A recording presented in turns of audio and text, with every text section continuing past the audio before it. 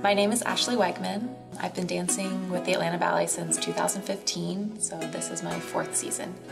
The men have just done this beautiful duet together, and then there's a little bit of a, a repeat of a solo from the beginning of the ballet. And then, yeah, we're all backing up, we're wrapped, and I think there's like, there's definitely a moment of surprise when we drop those dresses because you can't really tell that we're holding them, I think, from from the back. It's just like a really cool moment. The lights, you know, get brighter and we're all exposed. Yeah, and then we have that fun arm phrase. There's lots of hip rolls and I don't know, it's like very sensual, I think. And then we kind of break off into, I have a little moment, a little solo.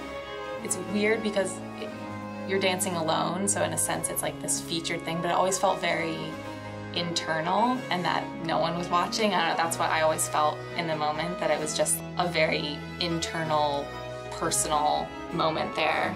It's kind of, you're feeling this feeling inside you. It's kind of like building up and you're just really letting the music move you. Liam Scarlett's Vespertine is one of my favorite ballets that I've performed in my career and I'm so excited to be bringing it back and it really takes you on a journey and it's a very emotional piece, I think, without having any sort of explicit narrative. It really touches you and really uh, draws you in.